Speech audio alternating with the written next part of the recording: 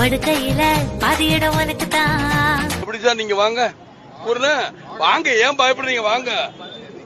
நான் அடிச்சு அடிக்கல மாட்டேன் வாங்க.